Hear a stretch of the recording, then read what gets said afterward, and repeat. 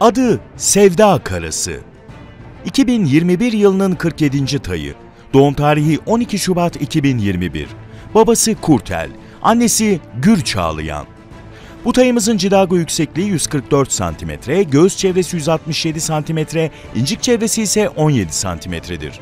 Bu tayımız 1 yaşında kır dişi tay olup tunç siperi, çarık ağası, yeşil elma, şintay, budaklı, ilk parıltı, başparmak, editör, bay patron ve lal çiçeği isimli taylarla babadan kardeştir.